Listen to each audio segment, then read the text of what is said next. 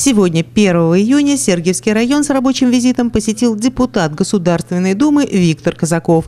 Первым пунктом поездки стало сельхозпредприятие ТСК «Агро», где на 7 тысячах гектаров земли аграрии выращивают разные культуры. Дымка, яровая пшеница, лен, подсолнечник, соя.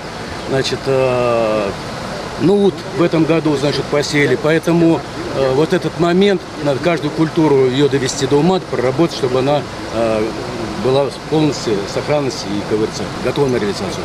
Европу накормим. Подсолнечным.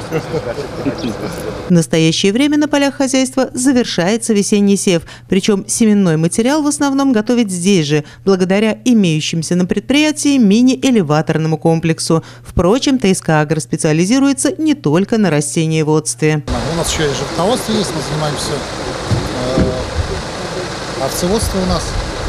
Мы с 2020 года начали заниматься. Сейчас поголовье овец составляет 1300 голов, а еще аграрии планируют разводить породистых коз. Порядка 20 особей уже обживаются в загоне. Также в планах модернизация элеваторного комплекса и строительство новых подсобных помещений. Юлия Трухтанова, Денис Ветрюк, телекомпания «Радуга-3».